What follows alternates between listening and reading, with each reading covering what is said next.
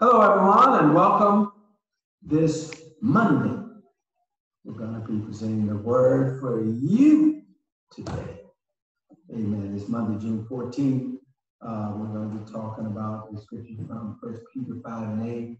Your enemy, the devil, prowls around like a roaring lion looking for someone to devour. Um, are you struggling with temptation? Your areas of vulnerability will change as the seasons of your life change. But the truth is that you'll always be tempted in some way. But the good news is that you can be tempted and triumphant. Jesus showed us how to do it. When he faced the tempter in the wilderness, he stood on God's word. And so here's some scriptures that we can stand on uh, when you're tempted. Number one, the Lord knows how to rescue godly people from their trials. Second Peter 2 and 9. 2. The high priest of ours understand our weakness, for he faced all the same testings we do, yet he did not sin. So let us come boldly to the throne of our gracious God.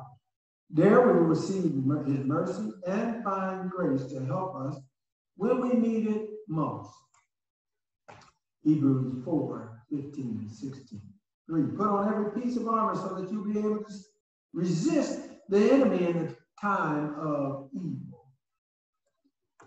Then after the battle, you will stand, you will be standing firm. Ephesians 6, 13. The God of peace will soon crush Satan under your foot. The grace of our Lord Jesus be with you. Romans 16 and 20.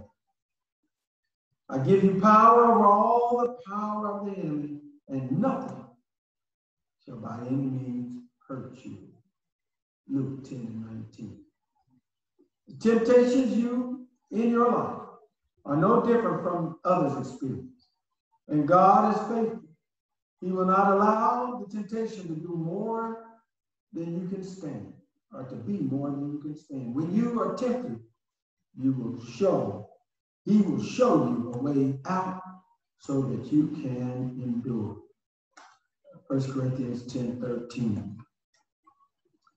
The Bible tells us to be sober, to be vigilant, to be watching, to be alert. Because your opposer is coming around like he did Job, your opposer.